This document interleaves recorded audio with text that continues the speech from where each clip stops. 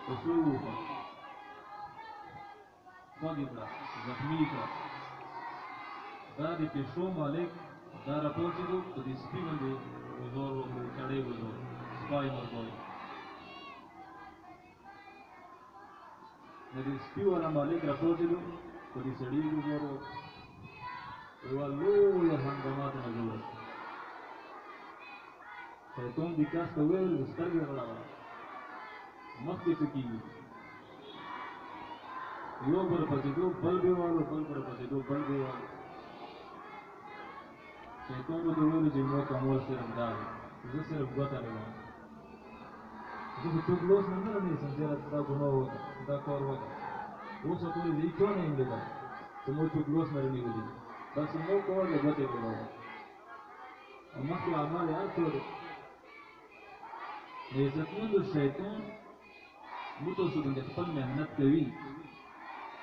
خو موتوسو قوت ایکي یو قوت دی انما المؤمنون اخوه مسلمانان څومره دي که نرینه دي که زنانه دي دا رونه خیان دي او نبی علیہ الصلوۃ والسلام فرمایي المسلم اخو المسلم مسلمان د مسلمان ورور دی